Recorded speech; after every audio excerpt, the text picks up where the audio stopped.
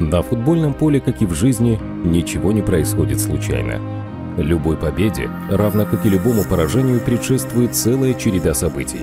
Одни мы можем не замечать вовсе, другим просто не придаем значения.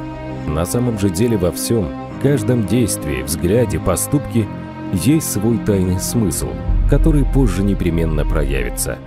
Это и есть закономерность.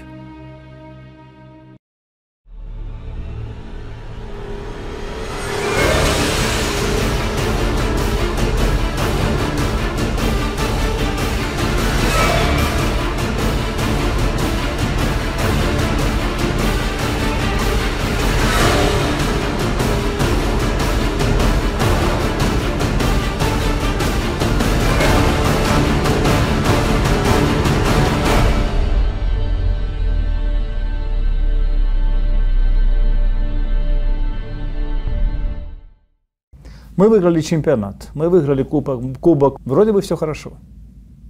Но если честно, я бы поставил плохую оценку за выступление в Лиге чемпионов. За прошлую Лигу чемпионов мне стыдно перед нашими болельщиками. Мы перед ними в долгу.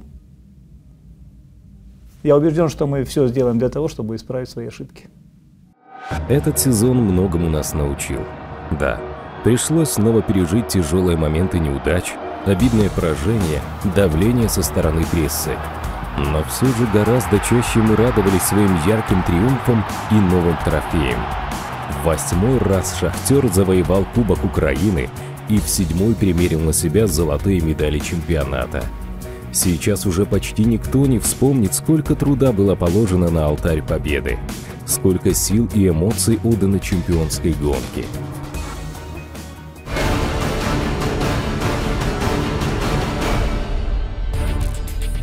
Сезон мы начали не совсем удачно. Фиаско в матче за Суперкубок, да еще и самому принципиальному сопернику. Не тот результат, которого от команды ждали и болельщики, и руководство, и тренерский штаб. Да, тогда многие не придавали особого значения трофею как таковому, ведь «Шахтер» стал абсолютным триумфатором на всех фронтах, завоевав сначала чемпионское звание, а затем и Кубок Украины. Но все мы прекрасно знаем, что любой поединок против киевского «Динамо» пусть даже товарищеский и, казалось бы, ничего не значащий, все равно особенный. Это борьба принципов, идей – это всегда больше, чем матч. Я считаю, что игры за Суперкубок, когда одна команда выигрывает и чемпионат, и кубок вообще не должны проводиться. Потому что мотивация в этих матчах бывает только у одной команды. Команды, которая хочет что-то доказать. Шахтер на эту встречу вышел расслабленным. Об этом после матча заявит сам Мирча Луческу. В свою очередь, столичный клуб был сверхмотивирован. Уж очень хотелось «Динамо» взять реванш у горняков за поражение в финале Кубка Украины. Потеря концентрации в стане оранжево-черных привела к тому, что уже на пятой минуте поединка Ярослав Ракицкий в собственной штрафной сбивает Андрея Ермоленко. Главный арбитр Юрий Вакс без колебаний указывает на точку. Удар Андрея Гусева. Счет в матче открыт. Ермоленко падал, он красиво упал, я как бы подкатился, такого нельзя, как мистер говорит, нельзя катиться в штрафной, ну, я уже это сделал, я пытался ноги убрать, но он как-то зацепился за меня и упал, и судья сразу назначил пенальти. Во многом этот мяч предопределил судьбу всего поединка. И несмотря на то, что нам удалось благодаря голу красавца Фернандиньо довольно быстро сравнять шансы, все же надо признать, в этот вечер «Динамо» хотела победы больше. Все старались, все били, все хотели выиграть эту игру, особенно не для того, что это суперкубок, а для того, чтобы мы играли с «Динамо», это был как наш соперник. Поэтому хотели выиграть и суперкубок, но проиграли. Ничего не поделаешь, что футбол. Конечно, да, когда ты выигрываешь кубок и чемпионат, конечно, да, уже как бы э, матч этот, да, суперкубок, он как бы, наверное, больше выставочный такой, как бы, может, настроя такого нет. Да, ну, все равно как бы настраиваешься, понимаешь, что это кубок, трофей. Покинуть поле боя на щите в битве с главным конкурентом, как это скажется на старте «Шахтера» в национальной премьер-лиге? И не возникнет ли у команды проблем в психологическом плане? Пожалуй, эти вопросы волновали болельщиков больше всего. Однако уже первый матч чемпионата заставил всех убедиться в обратном. С какой же легкостью была разобрана на части киевская оболонь. Четыре безответных мяча на глазах у 35 тысяч родных фанов. Именно в этом матче отметил свое возвращение в «Шахтер» голом Евгений Селезнев, который по окончании сезона подтвердит звание лучшего бомбардира Украины. «Шахтер» играл дома, первую игру 4-0 выиграл, поднял уверенность. И «Шахтер» уже опытная молодая команда, не можем говорить, что у «Шахтера» уже опыта нет. «Шахтер», «Шахтер» играет с игроками вместе уже 5-6 лет, поэтому все прекрасно знают чемпионаты Украины, и все прекрасно знаем, если успешный старт будет, что сезон будет легче. Первую осечку мы допустили там, где от нас ее никто не ждал. Выездной матч против столичного «Арсенала». Поединок, который, в общем-то, не сулил «Шахтеру» ничего плохого. 11 минута. Счет на табло 1-0 в нашу пользу. Снова роль первой скрипки на себя берет вернувшийся в строй после тяжелой травмы Фернандиньо. Забей горняки второй гол, и можно было бы практически не сомневаться в положительном исходе. А так скользкий счет невольно заставлял нервничать нас и оставлял надежду соперника на спасительную ничью. И вот, когда «Шахтер» уже мысленно находился в раздевалке, подкараулил наших защитников Ион Уцмазилу. Было обидно пропускать в конце уже. Очень, когда уже можно изменить, конечно, тяжело что-то уже. Как бы остается буквально там две минуты до финального свистка уже. И менять очень тяжело что-то было. Проходит еще несколько туров, и мы снова теряем очки и снова в выездном поединке. На этот раз непреодолимым барьером для донецкой команды становится одесский черноморец. Причем эта ничья стоит нам первого места в турнирной таблице. Морально уже были в раздевалке, можно сказать, были уже в такое состояние, что думали, что уже выиграли эти игры. И поэтому, думаю, пропускали уже в последние минуты. Но есть свои плюсы от этих двух игр, потому что они нас сделали более сильные во время всего чемпионата.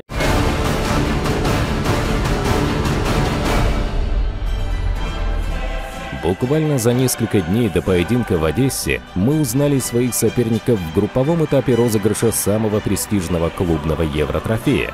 К этой Лиге чемпионов «Шахтер» подходил с высоко поднятой головой в статусе четвертьфиналиста.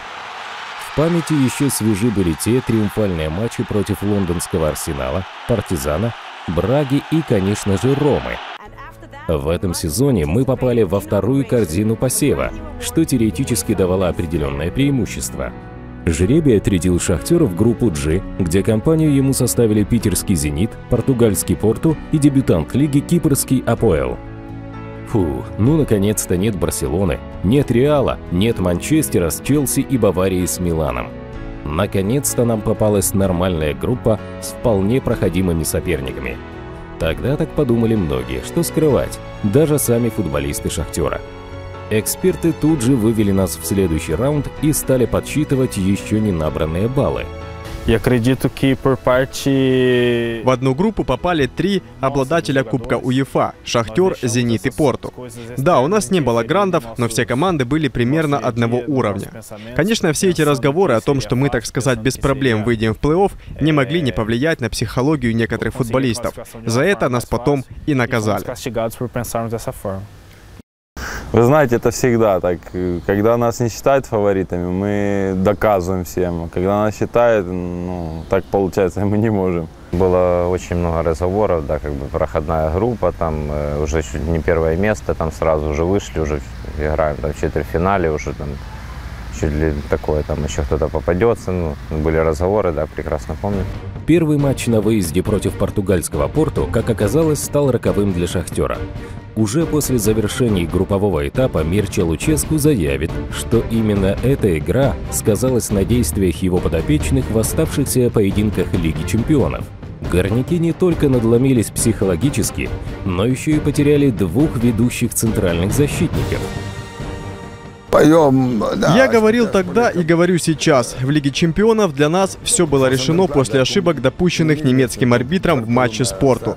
Подрезал он нам крылья такой молодой команде, которая все-таки еще является шахтер. Эти ошибки рефери наложили свой отпечаток на игру команды в последующих матчах Лиги чемпионов. Хотя начиналось все для нас не так уж и плохо. 12 минута, хлесткий удар Виллиана, неуверенная игра вратаря Порту Элтона и Луис Адриана открывает счет голам «Шахтера» в нынешнем сезоне Лиги чемпионов. Однако наша радость была недолгой.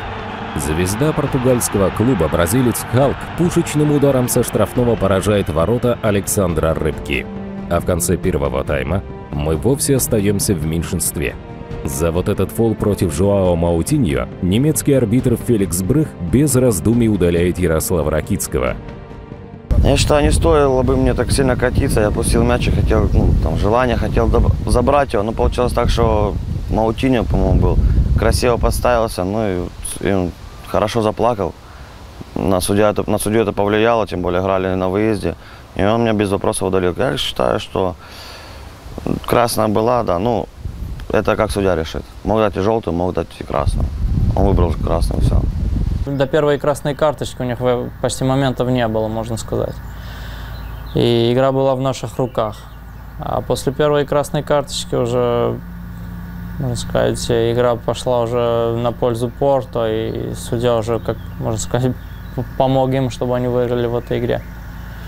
Трибуны стадиона Драгау завелись еще больше, а впереди 45 минут. 45 минут, которые нам надо было сыграть в десятером. Опытный Луческу понимал, удерживать результат бессмысленно. Нужно забить еще хотя бы раз – Однако едва прозвучал свисток, возвестивший о начале второго тайма, как мяч влетел в наши ворота.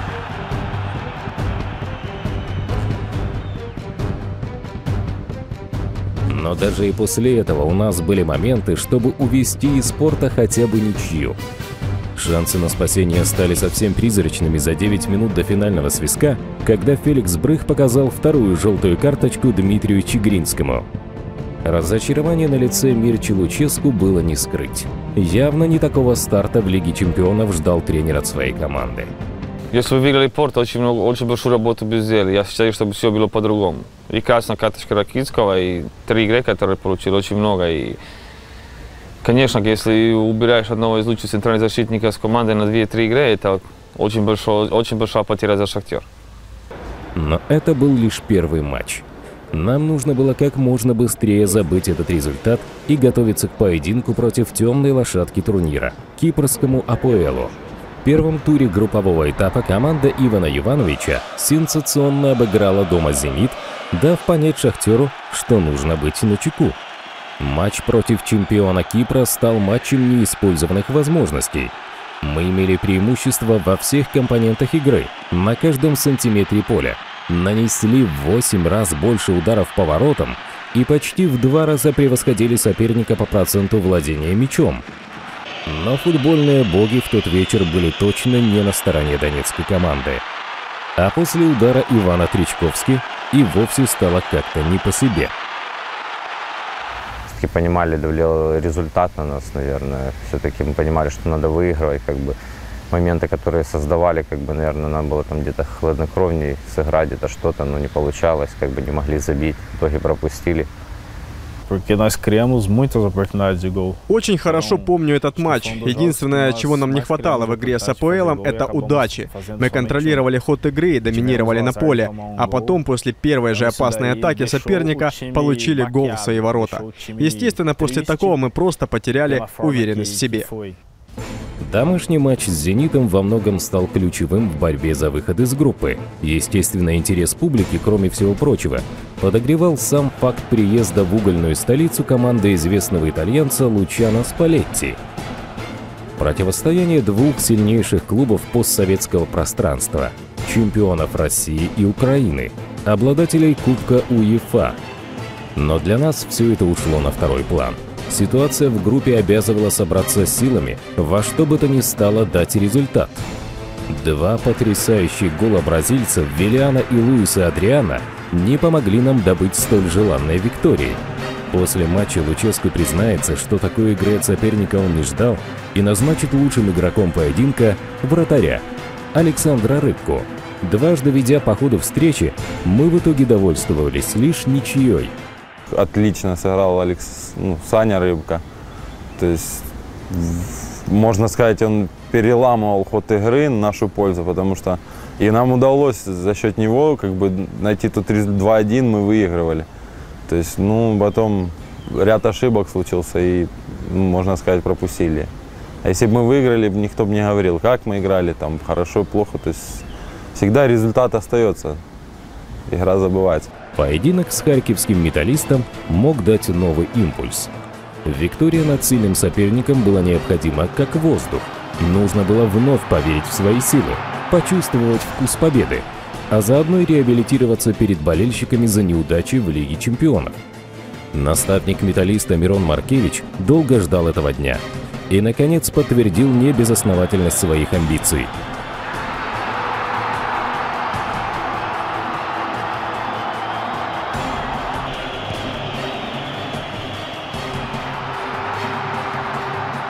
В глубине души затаилась тревога. Все вокруг тут же заговорили о кризисе в команде. Только ленивый не рассуждал о конце эры Луческу в Донецке и о его давно изученной всеми манере игры. Нет, э, кризиса не было. Ну, у каждой команды бывает э, черная полоса и белая полоса. Думаю, что у нас это, эти игры были черные полосы, потому что э, чего-то команда, ну, команда все делала, просто чего-то им не хватало. Думаю, что вот белой полосы не хватало в этих играх. Поражение в игре с «Металлистом» отбросило нас на третью строчку турнирной таблицы, а впереди кубковый поединок с киевским «Динамо». Матч, который в итоге полностью опроверг все домыслы скептиков о кризисе в команде – Красивая выездная победа над главным конкурентом. Что может быть лучше? Тем более, что до этого «Шахтер» не побеждал в Киеве 8 последних лет. Наверное, скорее всего, ключевая игра была это на кубок с «Динамо». После нее мы, ну, на выезде я смотрел просто по ребятам, когда выиграли 3-2, ну, можно сказать, как, когда ты обыгрываешь конкурента своего, еще и на кубок выбиваешь, то есть, ну, внутри происходит где-то ну, как бы облегчение, уверенность в своих силах появляется. Медина просто, просто не, ну, просто убили в Киеве. Было 2-0 за нас, 2-1, 3-1, 3-2, еще Милецкий рукой принимал мяч. Поэтому Шахтер, когда хочет, когда настрой хороший, Шахтера никто не может обыграть. Победа над «Динамо» безусловно подняла настроение в стане оранжево-черных, что было крайне важным перед поездкой в Санкт-Петербург. Ответный матч с «Зенитом» имел для нас судьбоносное значение. Очевидно, поэтому и отправился «Шахтер» в культурную столицу за два дня до поединка. Мирчи Луческу снова пришлось сломать голову над определением состава. Ведь накануне решающего матча в клубном лазарете оказались Жадсон, Фернандиньо и Дмитрий Чигринский. Зрители на трибунах переполненного Петровского без устали скандировали только одно – «Наше имя Зенит» какой-то момент напряжение достигло своего апогея. А перед самым свистком на перерыв стадион взорвался овацией. Николас Ломбертс замыкает подачу с углового и выводит свою команду вперед. Как выяснится чуть позже, гол бельгийца станет единственным в матче. Одним из лучших в составе «Шахтера» снова окажется голкипер Александр Рыбка.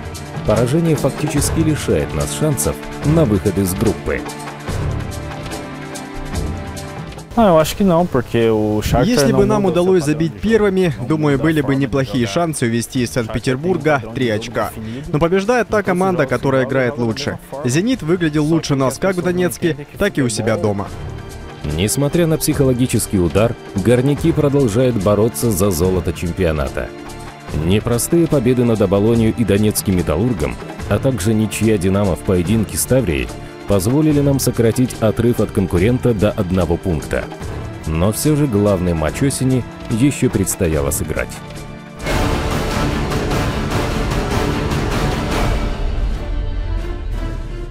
Все или ничего. Именно так можно было охарактеризовать домашнюю встречу «Шахтера» спорту.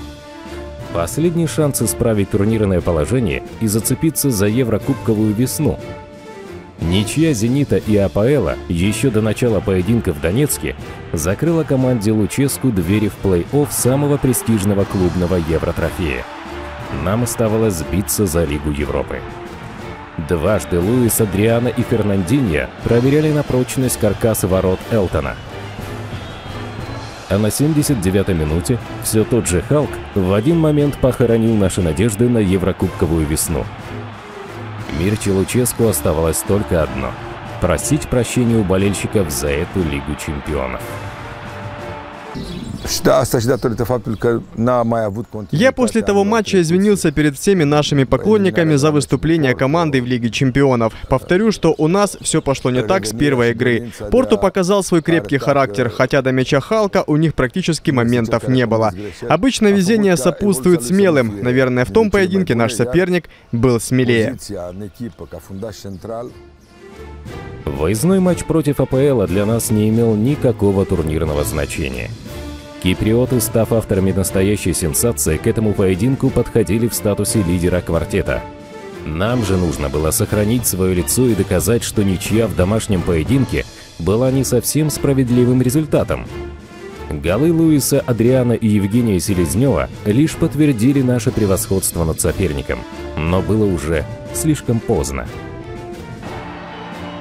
Словно извиняясь перед болельщиками за неудачи в Лиге чемпионов, «Шахтер» срывает злость на Карпатах, Арсенале и Кривбассе.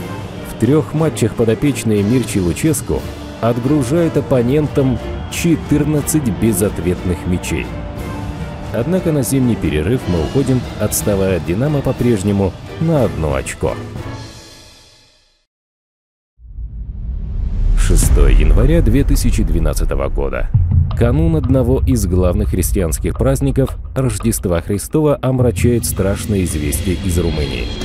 Наставник донецкого шахтера Мирча Луческу попал в автомобильную аварию. Мне сразу позвонили, сказали, что такое случилось. Конечно, я очень расстроился. Вы понимаете, мы уже с мистером работаем вместе девятый год. Мы понимаем друг друга с полуслова, с полувзгляда. Мы вместе разделяем боль и радость, вместе радуемся, то есть и вместе страдаем. И, конечно, я когда услышал, я сразу принял решение поехать в Румынию, поддержать мистера. Эти кадры мгновенно попали в эфир десятков телеканалов.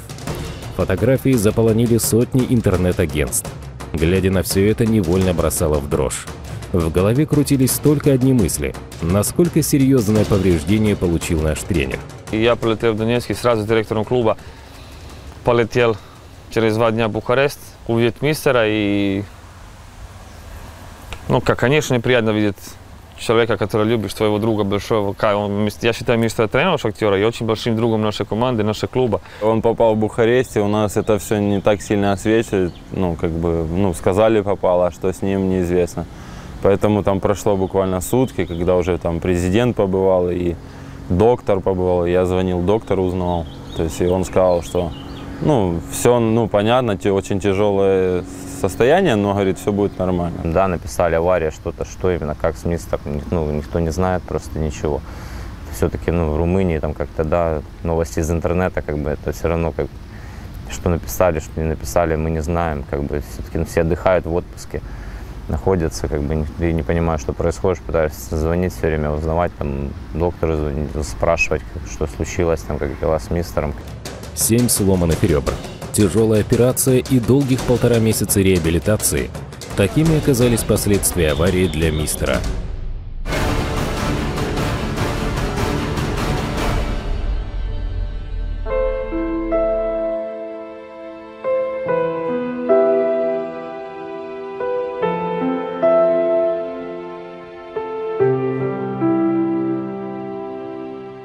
Грустью и слезами на глазах, со словами благодарности, добрыми пожеланиями и надеждами на новую встречу.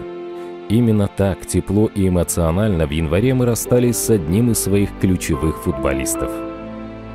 Жадсон провел в «Шахтере» семь ярких лет. Своей красивой игрой, великолепными голами, преданностью клубу бразилец заслужил любовь и уважение болельщиков. Поэтому сказать спасибо – и до свидания полузащитнику в конференц-зал Донбасс-арены пришли не только журналисты, но и десятки болельщиков. Это был невероятно трогательный момент. Свою футбольную карьеру Жадсон решил продолжить на родине, заключив трехлетний контракт с клубом Сан-Паулу. Признался, что так будет лучше для семьи. Но мы-то знаем, что в Донецке его не забудут. Ведь Жадсон Родригес де Сильва навсегда вписал свое имя в историю «Шахтера».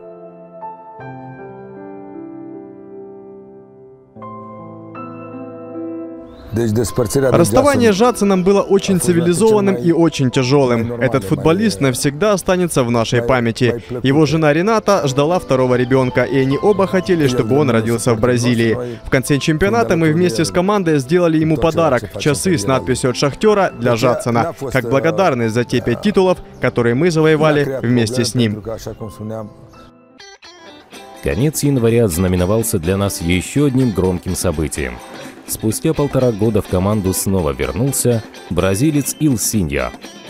После всего, что произошло между ним и клубом, полузащитник нашел в себе силы признать свою ошибку и попросить прощения за свой поступок. Я очень рад, что он проанализировал, сделал правильные выводы и нашел в себе силы, и нашел в себе мужество честно, открыто признаться, что он совершил ошибку. А это самое главное для меня. Когда я слышу, человек честно, открыто говорит, что я совершил ошибку. Но в моем сердце шахтер. Я хочу именно прийти в этот клуб. И хочу принести пользу именно этой команде. Я даже был тронут. И мне было очень приятно. Я сказал, добро, добро пожаловать. Илсинья, добро пожаловать. Я разговаривал с Элсинью еще до того, как он прилетел в Донецк. Он раскаивался за то, что совершил. Спросил, возможно ли, чтобы он вернулся и попытался исправить свою ошибку. Я, естественно, одобрил его решение. Надеюсь, что мы сделали хороший трансфер. Думаю, нам было бы сложно найти игрока такого уровня с его опытом за ту сумму, которую мы его взяли. Впервые за все время пребывания Мирчи Луческу в Донецке «Шахтер» отправляется на предсезонные сборы без главного тренера. Руководство командой на себя берут его неизменные помощники – Александр Спиридон, Карло Николини и Массимо Уголини. Понятно, без тренера главного, это, конечно, у нас, ну, как, как без рук вратарь, можно так сказать. Но все равно, то есть, я знаю всех и хорошо, и Федоровича, и Карла, и Масима. То есть они очень великолепно справились своей работой. То, что результата, может, не было, да. Но у нас была задача не результат, а мы, получается, первый сбор, там нужно было физически, физику как бы заложить. Você sente a ausência da pessoa, né? Мы ощущали отсутствие мистера скорее физически. Духовно он был вместе с нами. Команда не первый год работает вместе. У нас сборы, процесс отлаженный. Практически все время подготовка к сезону проходит одинаково. Плюс с нами были помощники мистера. Ну и, безусловно, команда была очень дисциплинирована. Все понимали ответственность, которая на нас лежала. Этот тренер все-таки масштаба такого уровня топ-тренер. И он знает, как к нам подходит, знает, что объяснить, знает, как тренировать. Скажу, Александр ну, Федор Спиридон, он как бы заменил его достойно. Он нас поднатягал физику, там мячики. Потом мистер приехал, мы уже были все готовы. Врачи разрешат мистеру присоединиться к команде лишь на третьем сборе в турецкой Анталье. Долгих два с половиной месяца разлуки, и вот он счастливый момент встречи тренера с командой. Мы его увидели, он сильно похудел тогда. ну, главное, что он был э, веселым, когда он нас увидел. Видно было, что он соскучился по ребятам, по тренерскому штабу, по докторам, по администраторам, э, по всех, по всем. И мы тоже радовались, увидев его, и подумав, что сейчас он с нами, и все будет хорошо, как было раньше. Конечно, радостно было видеть его в хорошем настроении, то, что он вернулся. Все-таки, я думаю, это настроение придало то, что он все-таки вернулся к команде, уже увидел всех ребят тоже, как и мы его рады были видеть, конечно, очень приятно было. Я встретил мистера на рецепции гостиницы, и я, Александр и Карл Николини. Привет, мистер, привет. Мистер так посмотрел, привет, Дарья, как дела? Хорошо, говорит, теория через час. Сразу ищет комнату, где теория, сразу э, смотрит поле, сразу условия смотрит. Вот так поздоровались. Поехали на тренировку, как бы мистер, не, как бы мистер был с нами постоянно. Да, Времени для сантиментов не было. До старта весенней части чемпионата оставалось каких-то несколько недель. На сборах в Турции «Шахтер» устанавливает своеобразный рекорд. За 8 дней команда проводит 6 контрольных матчей и не проигрывает ни одного. С приездом Луческу все становится на свои места –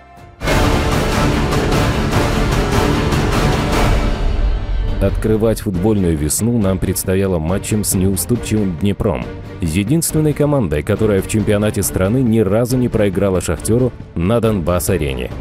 Удивительно, но подопечным Хуанда Рамоса и на этот раз удалось избежать поражения. Гол Матеуса, забитый не без помощи рикошета, заставил нас нервничать. Из-за спешки практически ничего не получалось в атаке, а тут еще и соперник грамотно сбивал ритм игры мелким фолом – ну, я помню этот матч, как они играли. Честно, ну, у нас моментов было миллион, мы просто не могли их забить. Они отбивались как могли. Я сказал, после этой игры сказал, что ну, мы их сильнее там на 100 голов, но мы их не забили. Под занавес первого тайма Генрих Михитарян все же сравнивает счет. Но больше в этот вечер ни одной из команд забить так и не удастся. Концовка матча запомнится лишь обоюдной грубостью, обилием карточек и удалением Манзюка.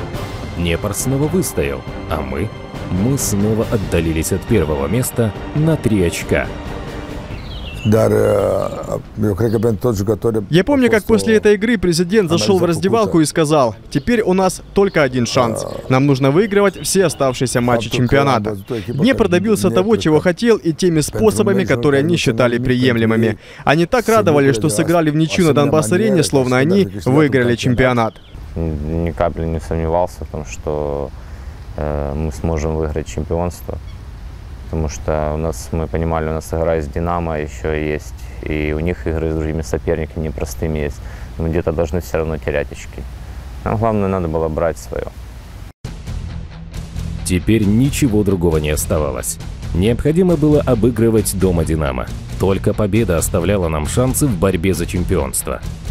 Не это ли момент истины? Все или ничего? Матч сезона. Битва титанов украинского футбола вызвала в Донецке сумасшедший ажиотаж. Билеты были раскуплены за считанные дни, а неистовая поддержка трибун стала одной из важнейших составляющих нашего успеха. Неудивительно, что именно в этом матче был установлен новый рекорд посещаемости Донбасс-арены. Поболеть за любимую команду пришли более 53 тысяч человек. Атмосфера, criada, foi muito, foi muito boa. В тот вечер была фантастическая атмосфера на стадионе. Тысячи болельщиков. Порой в матчах такого уровня это играет ключевую роль в победе. Естественно, мы ощущали эту сумасшедшую поддержку и хотели сделать все, чтобы победить «Динамо». Вы знаете, что Шахтер четыре раза играл с «Динамо» на арене, четыре раза выиграл, так «Динамо» даже гол не забил. Поэтому я считаю, что у Шахтера специально настроена «Динамо» и у «Динамо» на Шахтере. Это всегда будет украинский дерби настоящий. Вот эта игра за нас решала все. Если Шахтер не выиграет, тогда Шахтер не станет чемпионом Украины. Редко, когда встречи Шахтера и Динамо обходятся без нервов, потасовок и удалений. Этот матч исключением не стал. Пожалуй, сейчас нет необходимости еще раз ворошить в памяти все то, что происходило в конце первого тайма. Об этом и так было сказано. Достаточно. Ну, Динамо приехал в Донецк э, даже за ничего, можно сказать. Не за победой, а за ничего. Они оборонялись десятером оставив впереди только одного нападающего. А мы с первых минут начали атаковать, даже не думая о защите, потому что нам, нам нужна была только победа, особенно против «Динамо». И думаю, даже если не было бы красной карточки, то «Шахтер» сделал бы все, чтобы выиграть в этой игре. На второй тайм мы вышли с запредельным желанием забить. 56-я минута. Удар Кучера на себя принимает штанга – но тут как тут оказывается Алекс Тейшера. Мяч за спиной Шавковского. Донбасс-арена ликует. А гол Ярослава Ракицкого, особенно ту радость, которой наш защитник его праздновал, болельщики будут помнить еще очень долго. Это была победа. Победа, которой жаждала многомиллионная армия поклонников «Шахтера». Я, я чувствовал гордость за «Шахтер», за Донбасс, за всех болельщиков, за президента, за тренера, за команду, что мы, я забил, не важно, что забил бы, главное, что мы выиграли. А эти эмоции, это казалось то, что, ну, показал там на, на знак наш, то, что я люблю действительно Шахтер и за них голову положу, грубо говоря. Своим фантастическим голом ворота Шавковского Ракицкий искупил свою вину за те ошибки, которые он допускал на протяжении года. Главное, он сделал это в самый нужный момент. Был выигран поединок, но не чемпионат. Мы снова заняли привычное место в турнирной таблице, а равенство очков с конкурентом все чаще заставляло думать о золотом матче. Однако впереди была еще встреча с харьковским металлистом, болезненное поражение от которого до сих пор не выходило из головы. Победа на жилах в полуфинале Кубка Украины над Волынью отняла много сил, как физических, так и моральных. Но оступиться за несколько шагов до финиша значит попрощаться с золотыми медалями.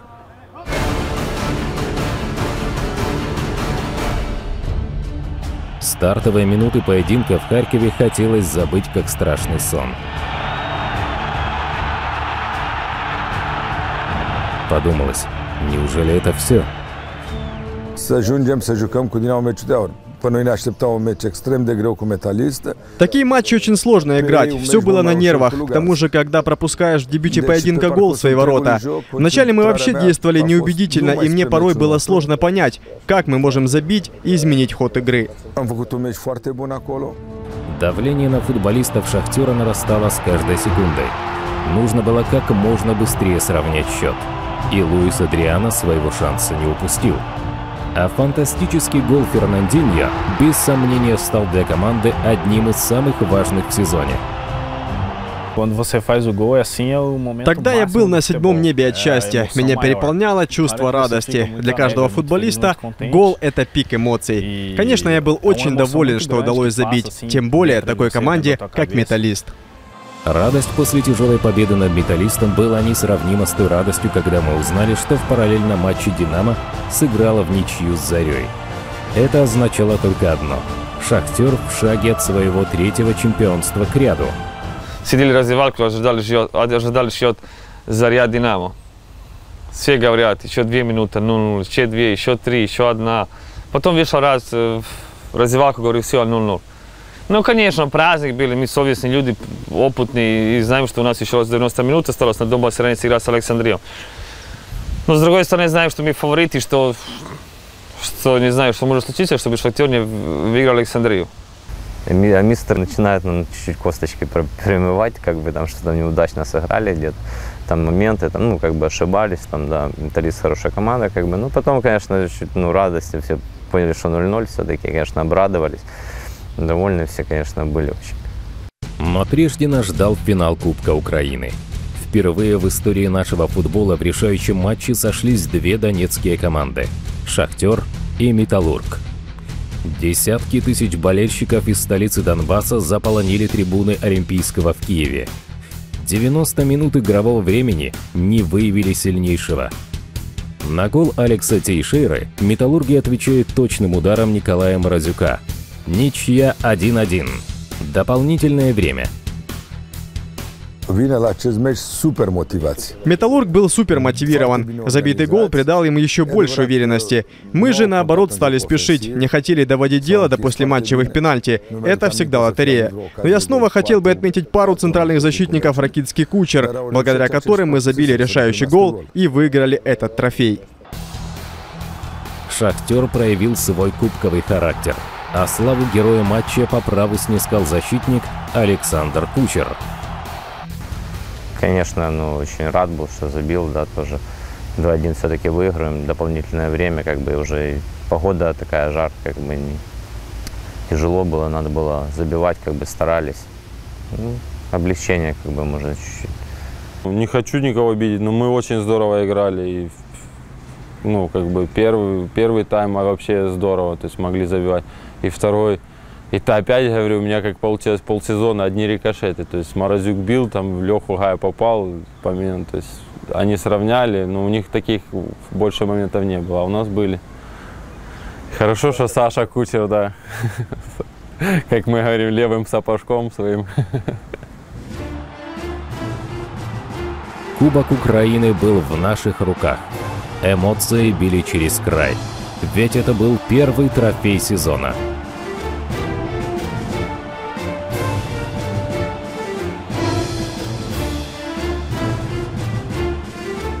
Но праздновать триумф не было времени.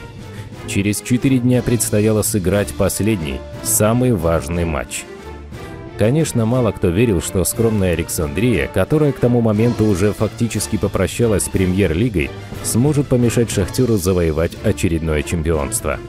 Tudo estava a nosso favor. Главное, мы сохраняли спокойствие перед этой игрой. Все понимали, что до цели осталось сделать всего один шаг. Тем более все было в нашу пользу. Шахтер играл дома с командой, которая намного слабее нас. Просто нужно было не пережать события. Два мяча, забитых Виллианом Хитаряном еще в первом тайме, предрешили исход матча. А Евгений Селезнев поставил эффектную точку в триумфальном сезоне «Шахтера». Этот гол позволил нашему форварду во второй раз подряд завоевать звание лучшего бомбардира премьер-лиги. А дальше счастье, радость и, конечно же, шампанское.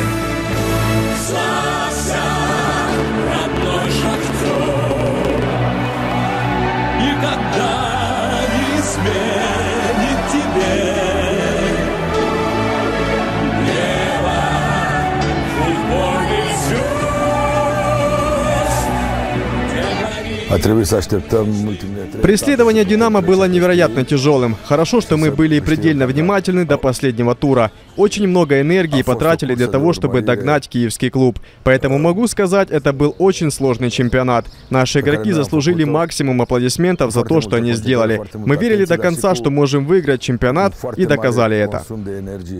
Эмоции не забываем, что ты становишься чемпион третий год подряд ты доказываешь всей стране, там, кто тебя ну, там смотрит тебя, что ты, эта команда действительно лучше, чем другие наши команды Украины. Ну и мы будем доказывать это с каждым годом. Будем бороться, будем драться за эти медали. Все от нас ожидают больших успехов, больших трофеев. И мы это делаем, и на концу все счастливы. И футболисты, и болельщики, и президент, и тренер, и все люди, которые работают в нашем клубе, все люди, которые любят шахтер. За это играется футбол. Футбол играется за трофей. Поздравить «Шахтер» с победой приехали звезды эстрады, которые до полуночи исполняли свои лучшие хиты прямо на поле Донбасс-арены. В эту ночь Донецк не спал. И у всех на устах была только одна фраза «Шахтер – чемпион». Я был счастлив, как и все наши болельщики. Когда выигрываешь чемпионат, все-таки мы весь год трудились для того, чтобы держать этот кубок в руках. Я был счастлив от этого. Но на утро проснулся и сам себе сказал, я буду очень счастлив, если мы выиграем 4 золота подряд. Не 3, а 4. 3 уже выиграли, а хочется 4. Поэтому наши, у нас такие амбиции, все цель, и все силы будут брошены на этот чемпионат, на эту Лигу чемпионов, на этот Кубок Украины. Так что же такое закономерность? Каждый это слово понимает по-своему. Мы в третий раз подряд стали чемпионами Украины. Красиво оформили золотой дубль. Между прочим, четвертый в истории клуба. Мы снова подтвердили, что являемся сильнейшей командой страны. Для нас закономерность – это наши победы.